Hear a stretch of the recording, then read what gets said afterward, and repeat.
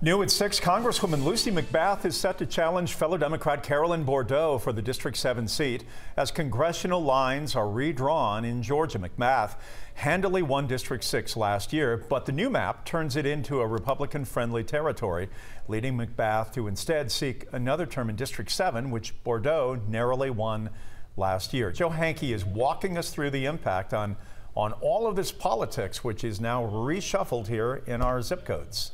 Jeff Representative Lucy McBath sent out details of her plan to leave the 6th District and head to the 7th District minutes after the Georgia House approved the state's new congressional map earlier today. The map still needs Governor Brian Kemp's signature, but this appears to signal Republicans could gain a House seat in D.C.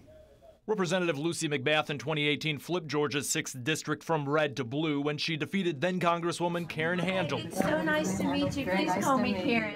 And McBath earned a second term when she defeated Handel in a rematch two years later. Republicans previously held the district since 1979 when Newt Gingrich was elected to his first of 10 terms. What the majority party will often do is to eliminate some of its opposition. UGA political science professor Charles Bullock says through redistricting, Republicans now seem destined to reclaim the 6th, as the party seeks to also reclaim the House in D.C. McBath's district, she's right. You know, it's become much more Republican and she would have virtually no chance of winning in that. McBath, in a statement today, wrote Census data showed Georgia's 6th needed the least population change of any congressional district in the state, and yet Georgia Republicans shifted the district I currently hold 26 points to Trump to draw me out of Congress.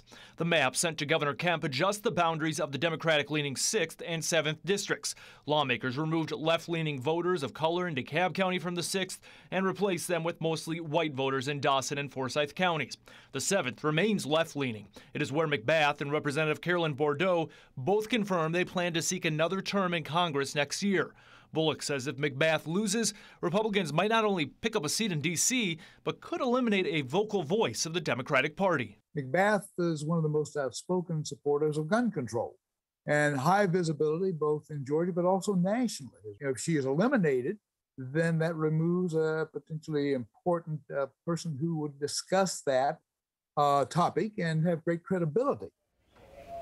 And Representative Carolyn Bourdeaux tells us the newly drawn 7th District contains 60% of her current constituents and is largely located in Gwinnett County where she lives. You can read statements from both McBath and Bourdeaux right now on 11alive.com.